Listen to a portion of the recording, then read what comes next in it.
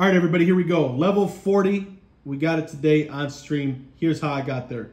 I have not done any of ISO Joe's agendas yet. I didn't need to, but definitely going to get him from the agendas.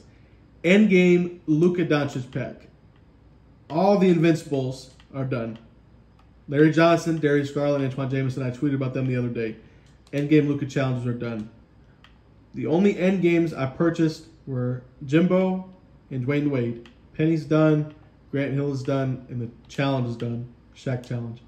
134 triple threat offline wins, four triple threat online wins, 13 clutch time offline, only one clutch time online, only one unlimited, six limited, five co-op. Then we go down the dailies. I did them all today. NBA wins, a lot of XP here. Season A rewards, I did all of those. And then I applied all the badges, applied all the shoes, and graded all the cards. Please let me know if you guys have any questions. 3,000 I didn't do here with ISO Joe, get five and assists in a game with him three times. Please let me know if you guys have any questions. I'm out.